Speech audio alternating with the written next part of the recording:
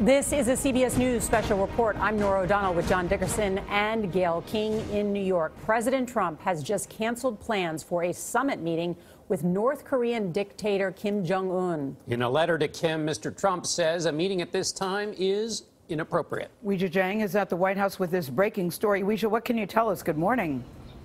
Oh, good morning to you. The White House just fired off this letter signed by President Donald Trump a few minutes ago, and he says due to the recent shift in tone, due to the language, he believes it is inappropriate to hold this summit. Now, remember, just overnight, an aide to Kim Jong-un was using extremely aggressive language against Vice President uh, Mike Pence, calling him a political dummy for bringing up the Libya model again uh, in a recent interview, and perhaps that is what triggered President Trump uh, to decide not to have this summit. But it certainly is an extraordinary development because just yesterday, sources here at the White House told us uh, that this weekend a delegation of top aides would in fact be going to Singapore for the second time to work out logistics, to sort out um, the final agenda for this meeting. So this is unexpected, especially because President Trump has been so careful uh, in recent weeks, especially the past week, to say, we'll see. We don't know if it's happening. We want it to happen, but whether it happens is really up to Kim Jong un. All right, Weijia, thank you. We should note, too, in this letter, which is clearly the president's voice. I mean, I don't yes. remember seeing a letter about this. He says, sadly, based on the tremendous anger and open hostility displayed in your most recent statement, I feel it is inappropriate at this time to have this long planned meeting. It then goes on to say this is a truly sad moment in history, but he does leave the door slightly yes. open. Yeah, the last paragraph in particular. If you change your mind having to do with this most important summit, please do not hesitate to call or write me. But what's interesting is because there was a really strong rebuke of Vice President Pence, calling him, as we just pointed out, a political dummy, dummy, and also threatening a nuclear to nuclear showdown. And so it did it did merit a tough response from the United States president. Interesting. The president also, in the uh, second to last paragraph, thanks Kim Jong Un for the release of the hostages and said that was a beautiful gesture and was very much appreciated. So he's got one foot on the brake, one foot on the gas here, and now it's up to us to try to figure out, and the, and the North Koreans to try to figure out what's going on. Senior Global Affairs contributor Ian Bremmer joins us on the phone. Ian, this week the president also seemed like he was softening. Before this letter, he did two things. He walked back that idea that North Korea would, would suffer the fate that Libya did, and then he also said that he might be okay with the delay of ending the nuclear program, that it wasn't a precondition for talks. What do you make of all this? Yes, he also said that Mike Pompeo, Secretary of State, would be uh, in charge uh, of the negotiations, um, and uh, that John Bolton was not going to be writing point. Uh, but to be clear, he's also been quite concerned that the Chinese uh, were undermining him. Uh, and so, as a consequence, this is clearly, I would say, a big thing is how much this is linked to the U.S.-China relationship. The markets should clearly go down with concern that uh, tariffs, uh, for example, by the U.S., the ZTE issue, are going to be right back in front of everyone as a consequence. The support for the North Korea meeting was one of the biggest reasons why Trump chose uh, to hold off on hitting the Chinese hard. This is going to be the big disappointment from his perspective.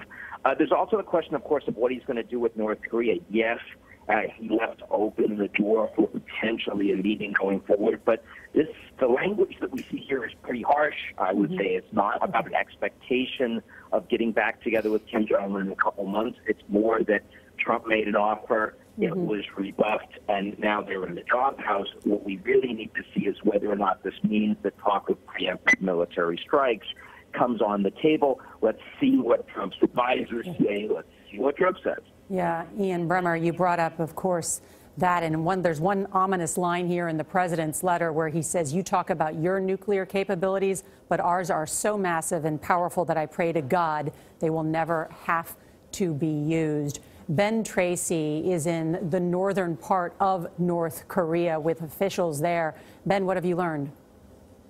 Well, Norah, it's the middle of the night here. We're actually on a train. We just left North Korea's nuclear uh, test site this is going to come as a big surprise to people here. Obviously, we've been talking to uh, the folks that we're working with, our government guides about the summit. Uh, people here had been, uh, you know, wondering if they thought the summit might fall apart, if the U.S. might back out, or if North Korea might. Um, but I think this will really come as a surprise. North Korea literally just announced that they were shutting down its nuclear test site. We spent all day there today where they were blowing up test tunnels and saying they're no longer going to uh, conduct any tests there. They view that as a sign of goodwill. They view that as something they wanted to do before the summit with President Trump. Now that that summit appears to be off, uh, this will definitely come as a surprise here. And Ben, just to clarify, I mean, they were putting on a spectacle for you right there with the blowing up of those tunnels to uh, put on a show of sorts. Yes, you know they, they blew up the three tunnels that remained. Uh, they claim that makes the site unusable. Uh, the problem we had, the only people there were some journalists, and we're not experts, uh, you know, on what it takes to shut down a uh, nuclear test site. There was no outside expert there who could verify that that actually means that that site is now unusable. Uh, but they did put on uh, quite a show. There were uh, many explosions. They blew up basically all the buildings on the site. So they have done something there that would not allow them to easily uh, conduct another test. Now, whether they have another site somewhere or they have another plan, we don't know at this point. I know, uh, Ben, you said it's been in the middle of the night, but do you have any sense of what the reaction will be from North Korea since, you know, there has been some indication that the president was thinking about making this move? Yeah, you know, we, on this trip so far, we've not been able to talk to any regular people, any North Korean citizen, But the government guides that we've been with, I can tell you, I think they're going to be disappointed. This has been a topic of conversation. They have wondered uh, if this was going to happen. You could tell that there was a sense here that people were looking forward to the summit, that something might come out of it. But there also was kind of a, a harder line than I expected that we would run into here. People saying we think it may not happen, or perhaps uh, things aren't going to get resolved with the United States. So I, I think they were kind of hedging their bets here. There certainly will be huge disappointment in South Korea, where President Moon really has staked a lot of his reputation, his presidency, on figuring this issue out. And if uh, if President Trump and Kim Jong Un don't meet, uh, whether that's June 12th or ever, uh, that's going to be a real setback for him. And Ben, what do you make of the Chinese uh, role in all of this, and what do you expect uh, China to do in the wake of this announcement? Well, it is interesting. You know, President Trump uh, a couple of days ago, you know, kind of blamed China, said that it was after Kim Jong Un went and met with uh, Xi Jinping in uh, Dalian, China, a couple of weeks ago, that the tone seemed to change. And he seemed to be intimating that China was telling Kim Jong Un to take a harder line on this. Uh, we have no idea if that's actually the case or if that's just a coincidence. Uh, China certainly did reinsert itself back into the process. For a long time, China was on the sidelines and not real happy about it. So clearly, China and North Korea quickly mended their relationship. Um, where it goes from here, who knows? You know, the United States has needed China to enforce these sanctions because China accounts for the vast majority of North Korea's trade. So if China has a close relationship with North Korea and then the United States is not willing to work on these issues with North Korea, you could see a shift in how willing China is to help on sanctions. All right, Ben Tracy inside North Korea on a train as he is leaving that nuclear site uh, there. Coverage will continue throughout the day on your local news and on this CBS station and on our 24 hour streaming network, CBSN. You can watch it at cbsnews.com. And we'll have a complete wrap up tonight on the CBS Evening News with Jeff Glor. Many of you will return now to your CB, to CBS this morning.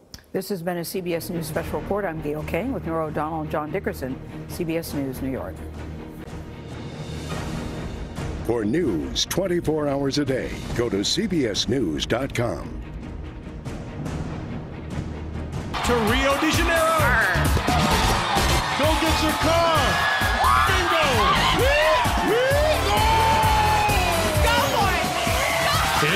For Let's Make a Deal. Now here's TV's big dealer, Wayne Brady. Hey everybody, welcome to Let's Make a Deal. I'm Wayne Brady. Thanks for tuning in. Who wants to make a deal? The Lumberjack Jill. The Lumberjack Jill. Have a seat, have a seat.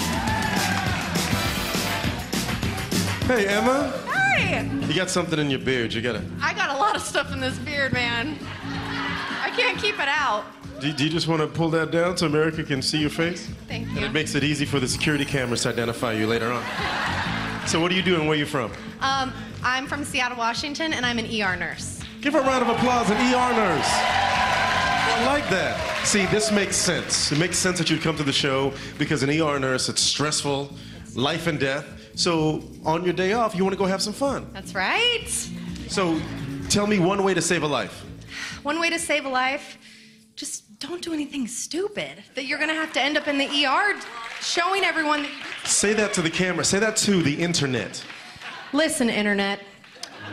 Don't see stuff on YouTube and think, I could do this better and we should film it because then you're gonna come see me and all my coworkers gonna make fun of you when we're outside of your room. And that's with insurance. It's true. It's true. So, I'm gonna make a deal with you where I will give you $200 times whatever you roll, or you take the big box. Ooh. You know what? This is my first time on the show. I feel like I should go for the big box. Sure. Roll, and let's see what you would have taken home. A 10. Would have had $2,000. Tiffany, what's in the box? It's a home theater.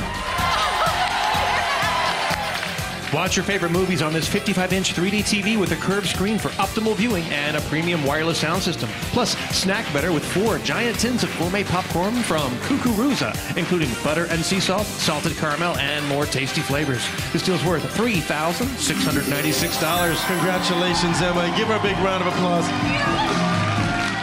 Have a seat. Who wants to make a deal? One person. Who wants to make a deal? Uh, Sandra. Come on over here, Sandra. Everybody else have a seat. Everybody else sit down. Sandra, nice to meet you. Now, is it Sandra or Sandra? Sandra, Sandra, what do you do? I'm a school counselor in San Diego. You're a school counselor. So, what's a good piece of advice that you give uh, to to a young person trying to make it today? Oh my God. That is touching. So, I will give you $200 times, come on over here, sweetheart, times the number that you roll right here. I've got some dice for you. It's easy peasy. So, I would love to give you some money, or I'll give you curtain number two. How about that? Now, it's a lot to think about because it's money. Oh, she's giving the dice back to me. Curtain. So, you're passing on the roll? Yep, yep. Let's do the curtain. So, you don't want the cash?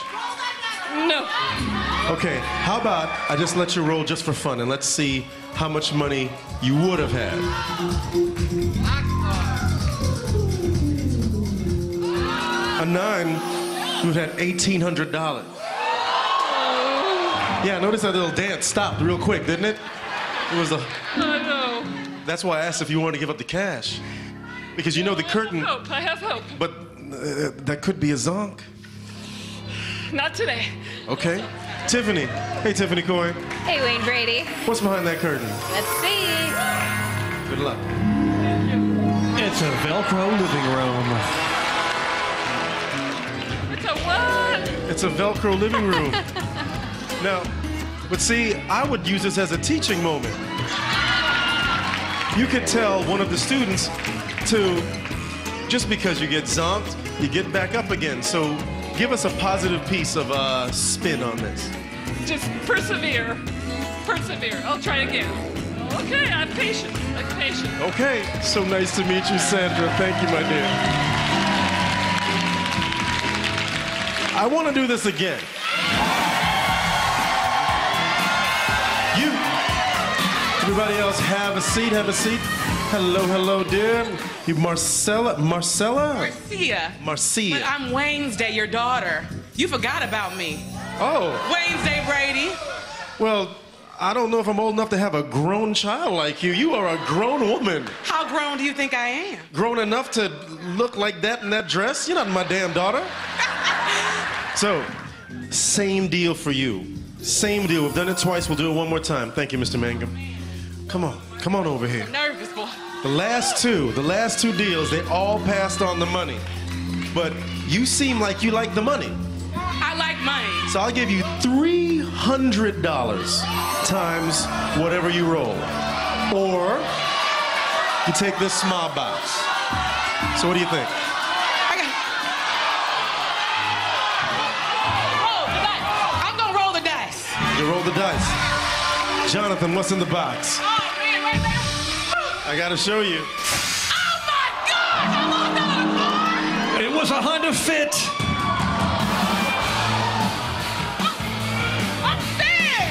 Dead! This Honda Fit LX features a fuel-efficient economy mode, ample cargo capacity, and a multi-angle rear-view camera. This deal was worth $17,765. Oh my God. Sweetheart, you missed out. Man, never in the history of our show, named the Maury Springer Show, have I ever seen. So you just, wow. I can't believe I missed out on a car. I really wanted a car. Mm, you know what? I did. I know, I know. Can can we do like a remix version? You want to do a remix? Oh, sure. Cat, hit it. Yeah, yeah, yeah, yeah, yeah, yeah, yeah. No. Okay. You, you got me all excited. I, But you are gonna. Thanks, Cat. But you are gonna roll for cash. We are gonna give you three hundred dollars. I'm excited about cash. So, if you get 12 times 3, $3,600. Roll them up. And five. All right, you got $1,500. Give a big round of applause. Thank you, Mama. Have a seat. Well, let's make a deal right after this.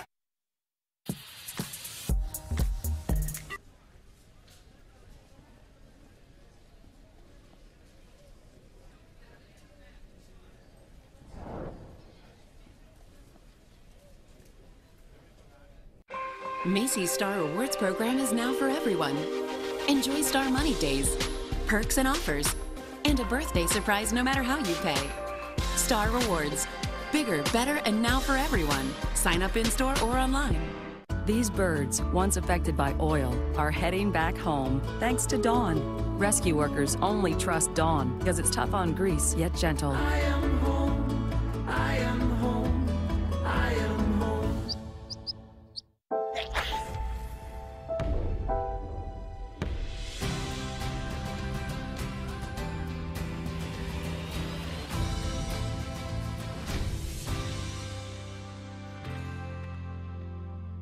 As the one who's always trapped beneath the duvet, I'm begging you, take Gas X. Your tossing and turning isn't restlessness, it's gas. Gas X relieves pressure, bloating, and discomfort fast, so we can all sleep easier tonight.